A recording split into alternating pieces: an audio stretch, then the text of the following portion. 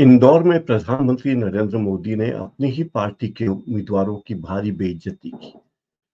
BJP के तमाम उम्मीदवार प्रधानमंत्री नरेंद्र मोदी के रोड शो के बाद राजवाड़ा पर इस उम्मीद में हाथ पर हाथ बांधे खड़े थे कि रैली खत्म होने और देवी अहिल्याबाई की प्रतिमा को माला अर्पित करने के बाद शायद प्रधानमंत्री उनका परिचय जनता से कराएँ, उन्हें जिताने की अपील करें। और अपना आशीर्वाद दें।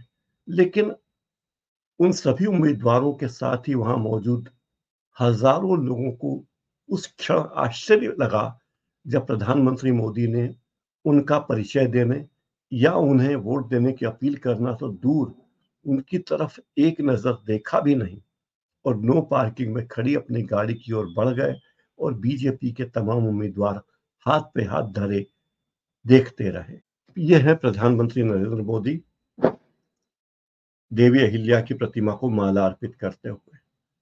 वहाँ उन्होंने देवी अहिल्या की प्रतिमा को माला अर्पित की और उन्हें नमन किया।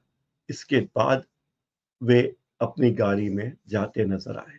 उन्होंने इंदौर के हज़ारों लोगों की शुभकामनाएँ कबूली। बड़ी संख्या में लोग उनके स्वागत में खड़े हुए थे।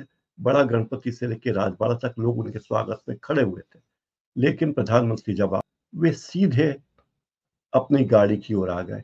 यहाँ देखिए, प्रधानमंत्री अपनी गाड़ी की ओर चले गए और वे तमाम उम्मीदवार इस उम्मीद में खड़े रहे कि शायद प्रधानमंत्री उनकी ओर देख के मुस्कुरा भर ले।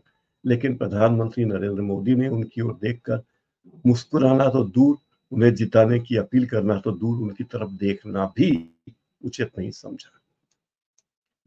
इससे बीजेपी के कार्यकर्ताओं के हौसले पस्त हैं और उन उम्मीदवारों की हालत भी अच्छी नहीं है।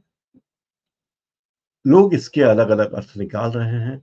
पता नहीं इसका क्या अर्थ निकाला जाए